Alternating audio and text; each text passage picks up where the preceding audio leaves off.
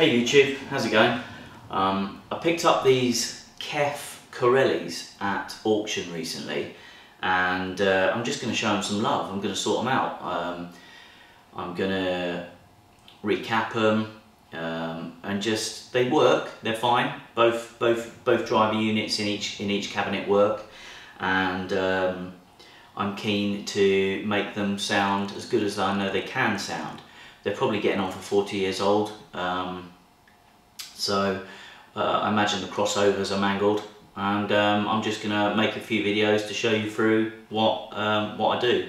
So step one for me um, is going to be to clean the cabinets and um, let's have a look. I don't think I'll need to refabric these but um, as you can see there's a little bit of damage on here that I want to put right and yeah step one I think is just just going to be to clean them completely check the um, the integrity of the phones make sure they're all right take the uh, tweeters out have a look at the crossovers and um, replace the capacitors in them to get them sounding tip top. So what I'll do is I'll just give them a clean now um, just to take a lot of the 30 years of dust off them and um, then I'll, I'll plug it into my stereo and give you a before sound so that we can um, hopefully be able to tell the difference between um, before and after after after, after I finish uh, sorting them out.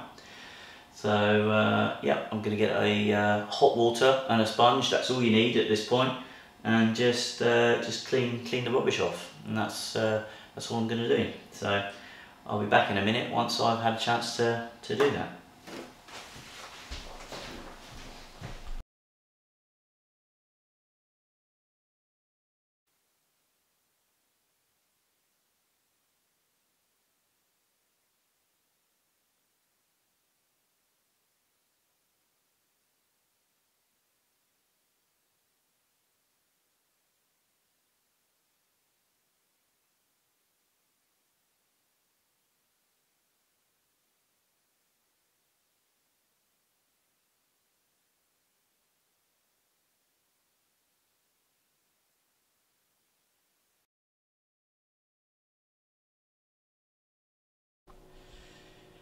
Hi, I'm back again. Okay, so I've put them in place um, in in the living room. So this is a before sound test. Um, I'm ha hand holding the camera, so it's going to be a bit of jiggling around, but hopefully um, you can see that I've got a, a B&O Beogram 5500 there, um, running through a Denon 520, um, which is a very clean sounding um, setup. And uh, let's let's see what we get. Um, just pulled a, a relatively new bit of vinyl out, so let's let's give it a whirl. See what we get.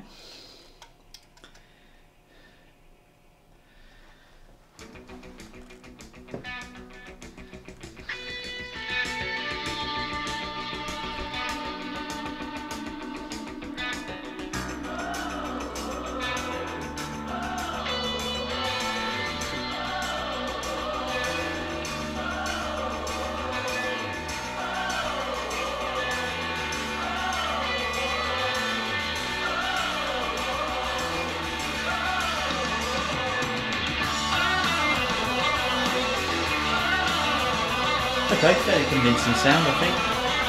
It's just.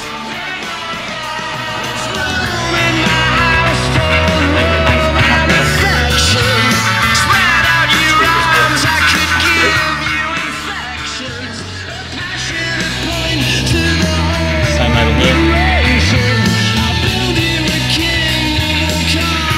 And the speaker's working. So, like I said, they are they are working, but I think they're really going to benefit from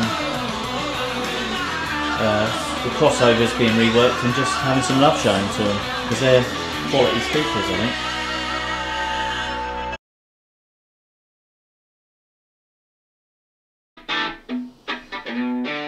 Bit more sound.